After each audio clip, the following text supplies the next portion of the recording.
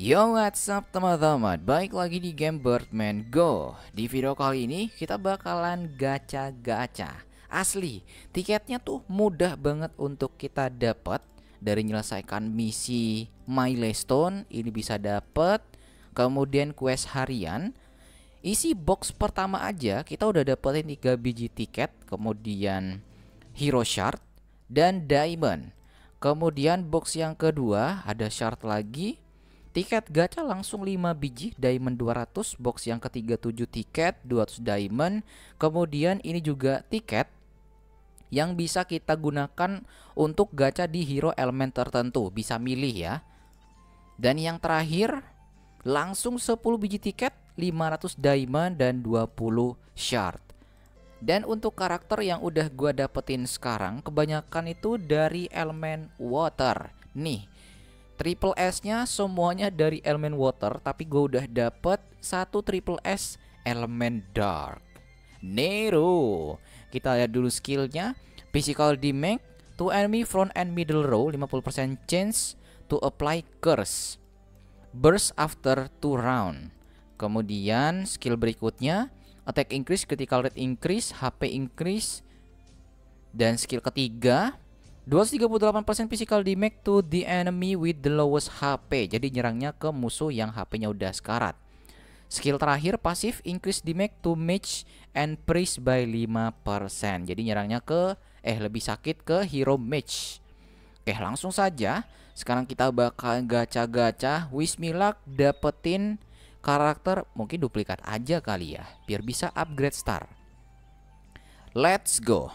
Multi pertama. Apakah langsung dapetin hero triple S? Oh, Nelson nice, dapat duplikat. Gacha multi kedua.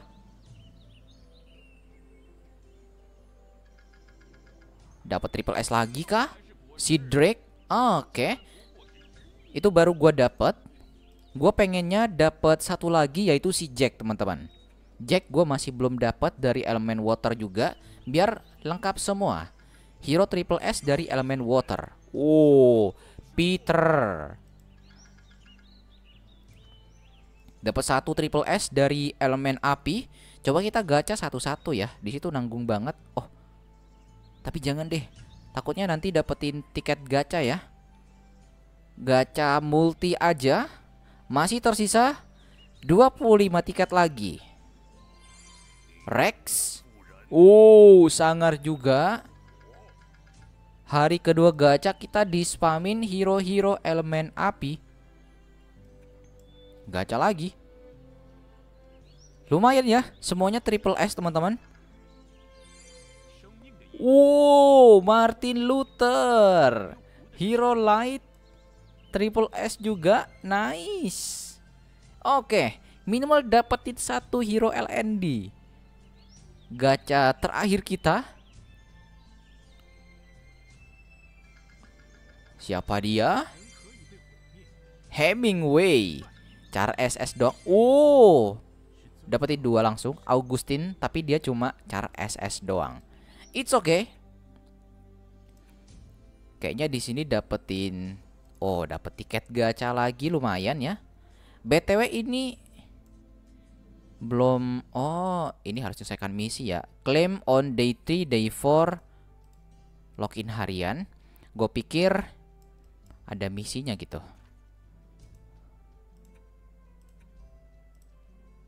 Mungkin gue bakal coba cari tambahan tiket dulu ya. Nanggung tuh 5 biji tiket teman-teman. Atau kita pakai diamond aja kali ya. Kita ke bagian galeri dulu. Wah lumayan 1000 diamond dan tadi kita dapetin Martin Luther. Wow, ngeri. Dia tipe Prius. So 38% magic damage to enemy front and middle row. Ada chance 76%. Inflict armor break. Wah, ini bagus banget sih harusnya. Armor break sendiri, hero with this effect bakal kehilangan 40% defense selama 3 ronde.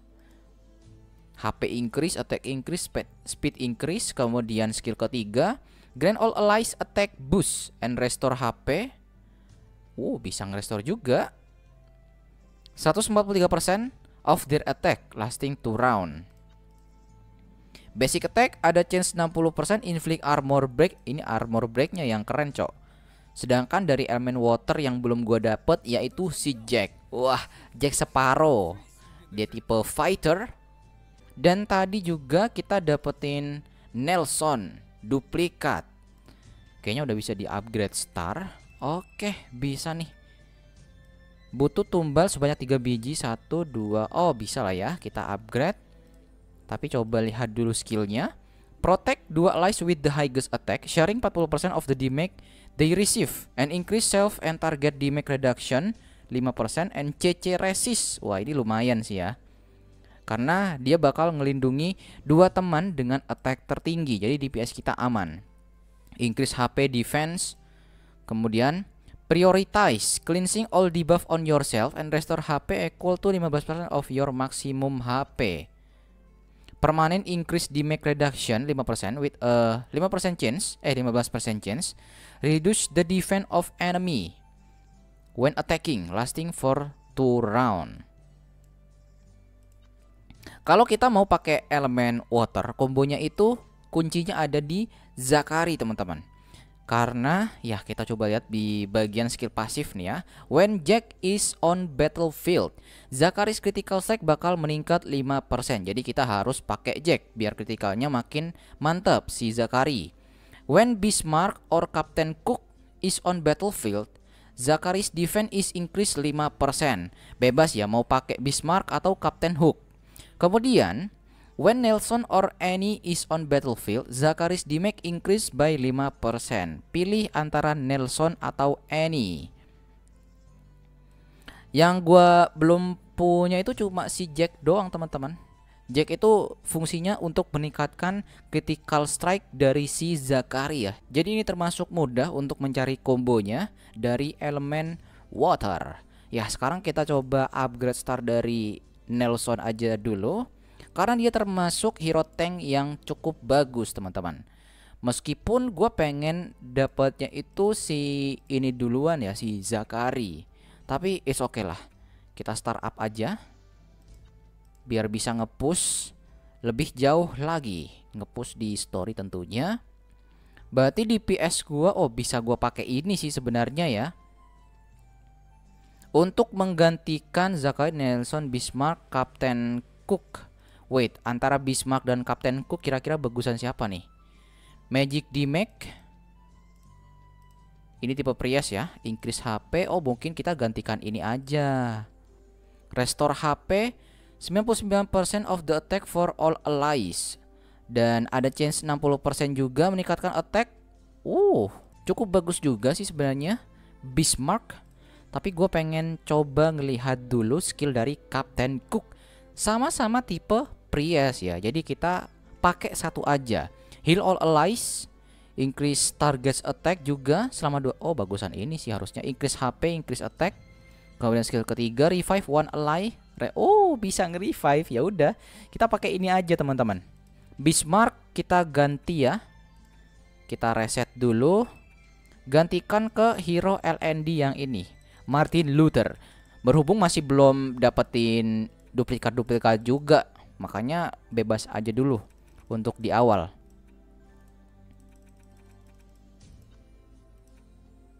Nice. Level 60, 60. Ini upgrade ke level 40. Oke. Okay. Oh, skill ketiganya masih belum kebuka, coy. Nah, ini baru mantep. Sekarang berarti kita coba testing battle dulu. Let's go. Martin Luther untuk menggantikan Bismarck. Let's go. Berarti ini taruh di depan karena dia adalah hero tank. Taruh situ. Oke. Dan kita ngedapetin Nah, ini buff ya. HP 6% attack 5%, HP 6%, 5% attack, HP 9% attack 6%. Oke. Langsung kita challenge. Beh. Tuh, langsung dikasih defense break ya. Armor break. Dan bisa kita lihat di sini, DPS kita mendapatkan buff dari si Nelson, teman-teman. Mantap si Nelson, cok. Dan kita coba buktikan efek revive dari Captain Cook.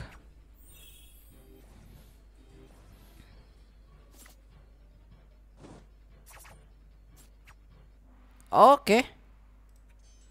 Kalau gitu terakhir kita testing battle di arena aja. Let's go. Spirit Wing. CP gua berapa nih? Formasinya belum diatur. Oke. Kita atur dulu. CP-nya 58.000 ya. Nah ini ada nih 48.000 Let's go Selisih 10.000 doang Nice Armor break Dan DPS kita mendapatkan shield ya Aman Kemudian dikasih heal Nice banget Beh Oh ternyata dia bisa lifesteal juga Ben Setelah ngekill target ya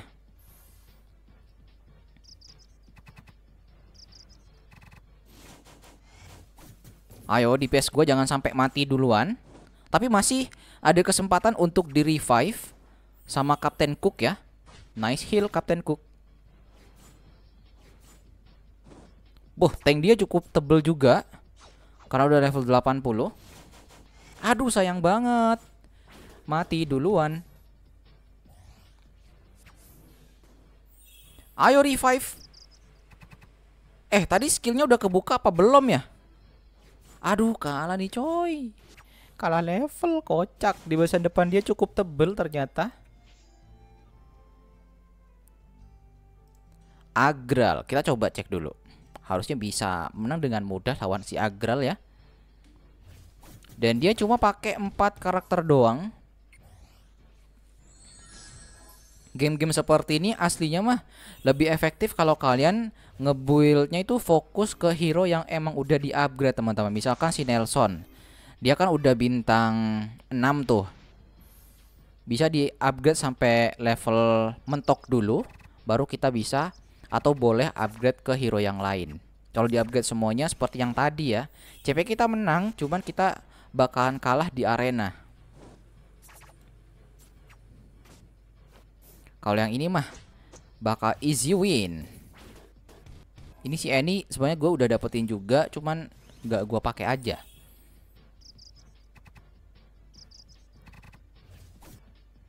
Oke, easy win.